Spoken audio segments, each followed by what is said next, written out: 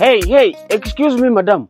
Mbona unapiga piga picha hapa hivi? Hauoni hapa ni sehemu nyeti? This is a private property. Ni nini mbaya na wewe unaniharibia photo session? Picha hazikubaliwi kupigwa pigwa hapa na vile unajikunja kunja kama kakonokono hapa. Hey, na nani amesema kwanza hapa ni sehemu nyeti? Management wamekataza kupiga piga mapicha. Na mbona hukupiga mahali umetoka? Ama unakuja hapa hivi ku fake lifestyle? Unataka kutega nani? Cheki, usiniharibie muda. Hata nilikuwa naenda kuona mtu. Wapi?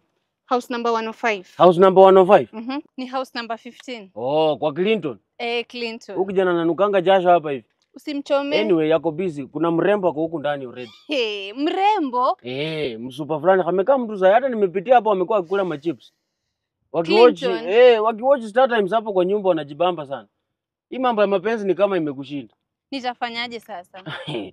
What I can suggest is wewe enda tu nyumbani. Uko na Star Times yako kwe? Eh, niko nayo. Eh, ku upgrade is the solution. So, wale wanajibamba huko na yao. Mm -hmm. Wewe pia enda ujibambe na yako.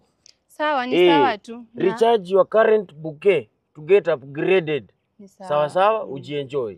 Na Eh. kuna wengine pia wanapitanga. My dear, too much information is poisonous. Nikianza kukuongelesha hizo vitu hapa, kichwa yako hata itaruka. Ni sawa tu, wacha niende ni watch Star Times yangu, lakini Left. Clinton, Clinton. Wewe Eh, twaki tu ukienda hivyo. Lakini Solulu is the Delulu. Halo Clinton. Nimekafukuza, ameenda.